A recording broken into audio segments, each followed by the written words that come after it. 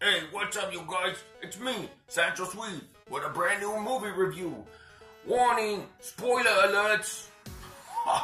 spoiler alerts. I am a real American.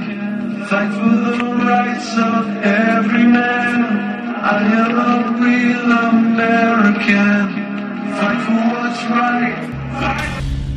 Is it you say? You haven't seen the Avengers movie yet? Well, that's what your good buddy Satchel's here for. Spoilers, everybody. Asgard dies. Mr. Horny over here, he dies too. And the well-anticipated, well-awaited for fighter in the battle of the century. Guess what? Spoilers. The Hulk gets Ike Turner across his face.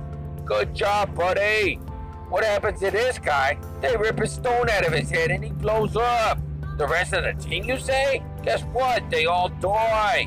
Mr. Stark, I feel funny in my pants. What's going on? You're dead, Peter. You're dying right now in this instance. This movie is rated 7 out of 11. Oh, boy. I don't mean to sound like a complete jerk, but I did warn you with spoiler alert. In fact, I think that's how you use it.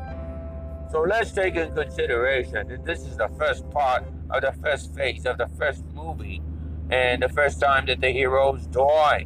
But remember, they have to come back. Spoiler alert, duh. But this leaves a tremendous opening for the other side of the MCU. The X-Men, Wolverine, Fantastic Four, uh, Silver Surfer, the cloudy version of Galactus, um, uh, Superman, I believe.